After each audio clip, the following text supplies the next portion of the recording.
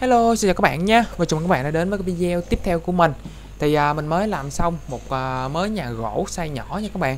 Đây, à, nhà gỗ size nhỏ Hình à, cửa là hình cái con chuột Mickey nha các bạn.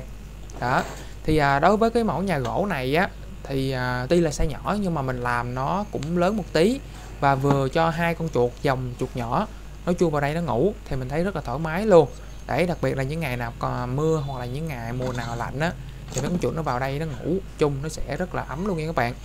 Rồi bây giờ mình sẽ đo qua kích thước của chiếc nhà này cho các bạn lựa chọn nó dễ hơn nha phù hợp với chiếc lồng của bạn hơn. Về chiều à, rộng của cái à, nhà này chiều rộng bên hông của nhà này là khoảng 9 cm đó 9 cm nha hơn 1 mm thôi. Đó không nhầm nhò gì nhiều.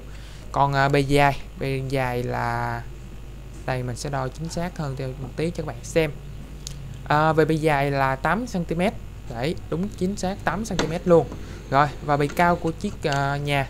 Bề cao này là bề cao tổng thể nha các bạn luôn phần mái rồi luôn á. Là là khoảng uh, 9 cm hơn 1 mm giống bề rộng luôn.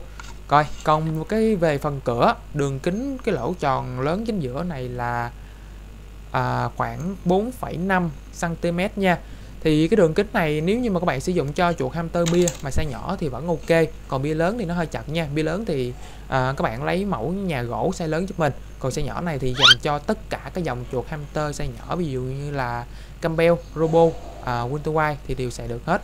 Và sử dụng cho hai con chuột một cặp chuột là rất là ok luôn nha các bạn.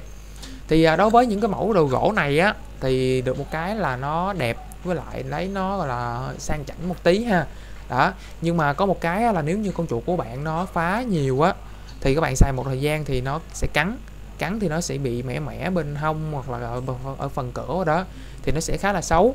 Vì thế là các bạn à, cần cân nhắc trước khi mua cái đồ gỗ này nha.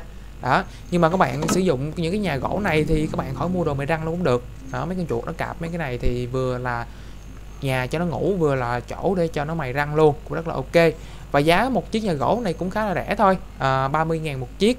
Và hiện tại nếu như mà bạn bốn bạn đầu tiên nha bốn bạn đầu tiên mà đặt hàng sớm nhất thì mình sẽ để lại cho các bạn giá là 28 ngàn một chiếc.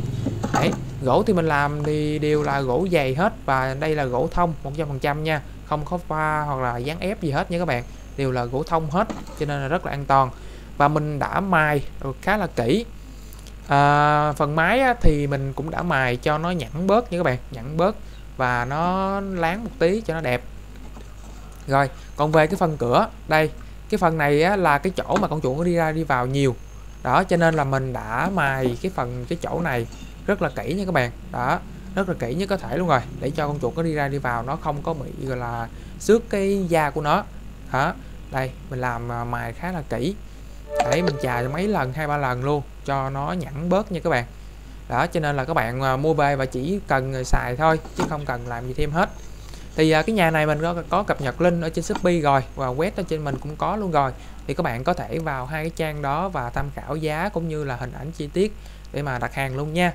Rồi à, và video hôm nay thì mình cũng à, cập nhật qua cái mẫu nhà gỗ nhỏ này. À, mình đang bán rất là nhiều luôn. Các bạn nào cần mẫu nhà gỗ hoặc là thích những mẫu nhà gỗ như thế này thì có thể ghé qua shop mình ủng hộ mình nha rồi, và cảm ơn các bạn đã xem hết video này của mình. Xin chào các bạn và hẹn gặp lại. Bye bye.